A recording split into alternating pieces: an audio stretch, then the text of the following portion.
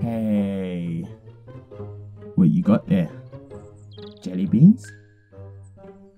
That's nice. You know they put bug fluid in those though. Oh, juice too. Crushed bugs. I mean, it could be worse. There's gummy bears which are covered in wax and bubblegum which have beaver butts in it. So.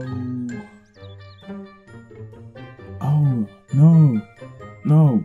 C- come on now. It's alright.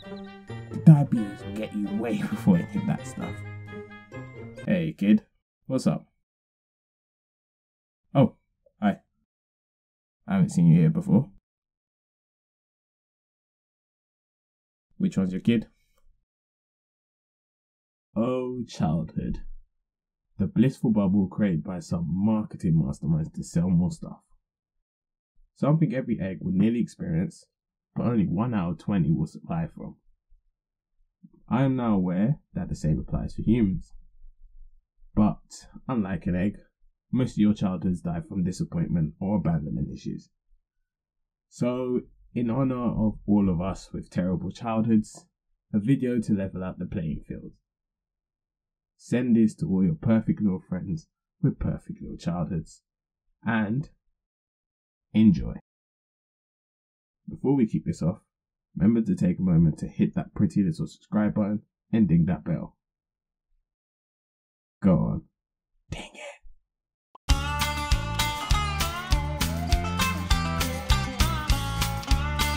Speaking of perfect little childhoods, you could argue that Peter Pan is the ideal standard. A boy who lived on a private island with fairies, led a band of hooligans, fought pirates, and pinged around like a habitual raver from Shoreditch. How can anyone ruin this wholesome cartoon? Easy. Beside all the sinister theories that Peter Pan was actually the bad guy and Captain Hook was the good guy, Peter Pan was based on creator J.M. Barrie's 13 year old brother who cracked his head and died whilst ice skating. Okay, so what? Well, you know, every time you hear Peter Pan is the boy who never grew up, it's because he's dead. Yes, dead. He can't grow up. It probably explains why he can fly and has a fairy. Guardian, angel. Huh. This is fun.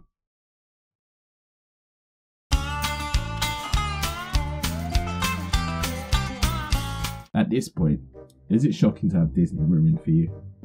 It seems like they're taking over the world like a dark overlord in a fantasy epic.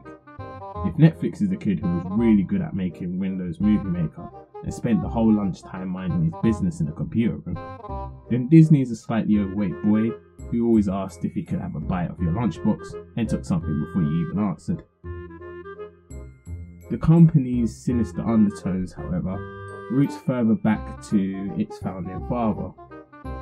Walt Disney, who built a company by being your parents' favourite grandpa, was just like your parents' actual grandpa in that he would be an awful person by today's standards, but was still a prick even in his day. Beside these questionable choices of character, like uh, Jim Crow, sorry, Jim Crow, Disney was pretty misogynistic and actively didn't involve women creative process.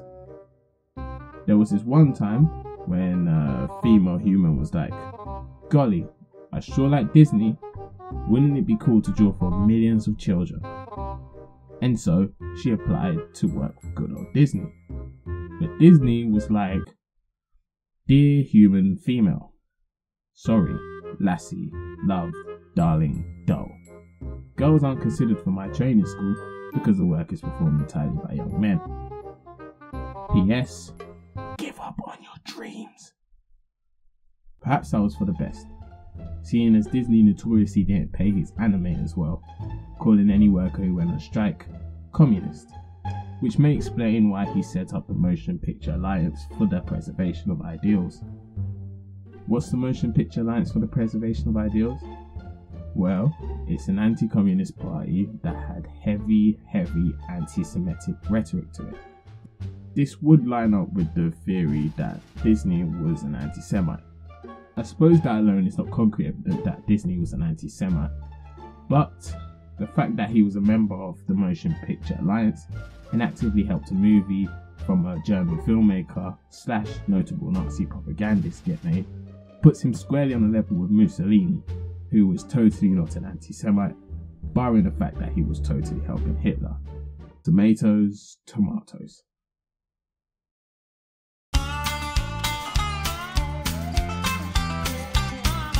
regardless of the already questionable modern version of it, you know, how the prince sneaks into an unconscious woman's room and kisses her, the original tale of the story is so, so much worse. Strapping. Jean Baptiste Basile, the original writer, wrote the Tale of Tales in 1634, which contained 50 different stories, including early versions of your favorite fairy tales like Snow White, Rapunzel, and Sleeping Beauty. Originally called Sun, Moon, and Talia, Sleeping Beauty still includes a royal sneaking into Beauty's chamber and finding her unconscious. Except he's a king, not a prince, and he doesn't just kiss her. Seeing how irresistible this beauty was, he uh forces himself on her and bounces. Still unconscious but pregnant, Beauty gives birth to Healthy. Wait, how is the baby still alive at this point? Huh? H- how did the baby get food from an unconscious woman? Babies. What? Dead twins. What the fuck? Sleeping Beauty gives birth to healthy twins, but she only wakes up because the babies have been sucking on her finger for a while. Naturally. The king comes back months later after he remembers about her. Because, yeah, you totally forget something like that. But when Beauty sees him, she falls in love with the king who impregnated her when she was, you know, unconscious, and also becomes a mistress. I mean, the only thing that would make this dark tale a little lighter is a love triangle and a dab of baby murder. Lucky you. Guess what? The king has a queen, and when she finds out, she has Sleeping Beauty hunted down. If that kind of sounds familiar, it's Maleficent. Yeah. She wasn't a jealous witch fairy, she was just the wife of a cheating scumbag. Obviously, the queen couldn't let things be. She eventually abducts Sleeping Beauty's twins and tells her cook to kill and feed them to their father, because that'll show him. In a show of human goodness, the cook doesn't do as he's told because not all humans are vengeful psychos, and they're too adorable. Look at them. Adorable. Good. So this exemplar human role model cooks lamb and feeds it to the king instead. Not satisfied with what she believed was feeding babies to their father, the queen pursues Sleeping Beauty, captures her, and attempts to burn her alive. As fortune would have it, the king hears the commotion and bursts in, ordering his guard to arrest the queen. The king and Sleeping Beauty and the kings are reunited, and they live happily ever after. Being the smart little wise ass you are, you may be already saying, every one of these old fairy tales has a moral. What's this one? According to the book, it's good things can happen when you're asleep. Yeah, let that one sink in.